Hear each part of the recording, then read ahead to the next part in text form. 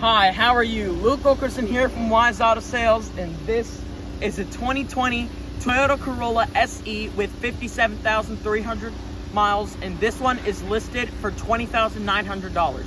Let's get into it.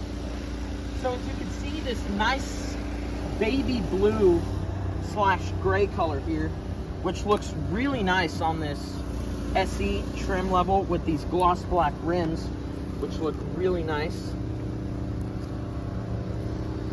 Coming to the back, you have your Toyota badge right here, a backup camera right there, Corolla badging and SE badging right there, a dual exhaust system, which actually sounds pretty nice. Here's beautiful tires.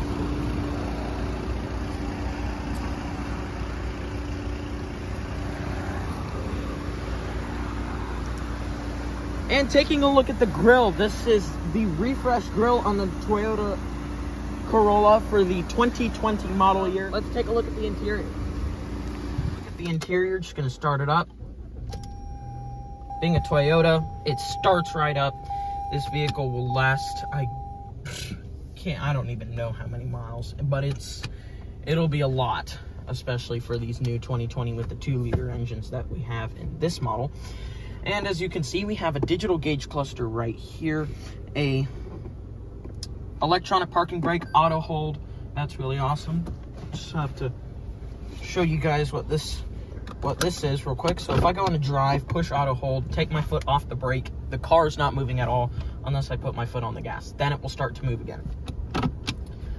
You also have manual mode, paddle shifters, um, sport and traction control off button right there. All your climate functions are right here with these knurled finish dials for your fan speed and climate temperature. A, a digital infotainment system right here, which looks really nice. It's pretty responsive. You have things like Apple CarPlay and Android Auto, which can be accessed with that USB-A port right there. Audio systems, your phone Bluetooth, your information, which you can click right here.